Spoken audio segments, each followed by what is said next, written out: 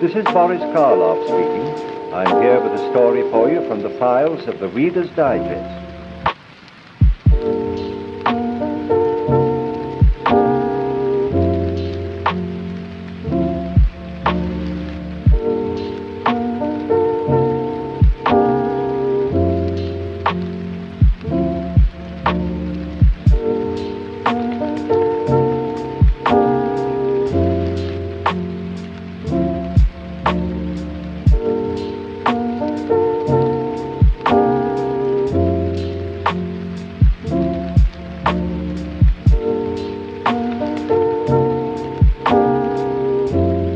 thank you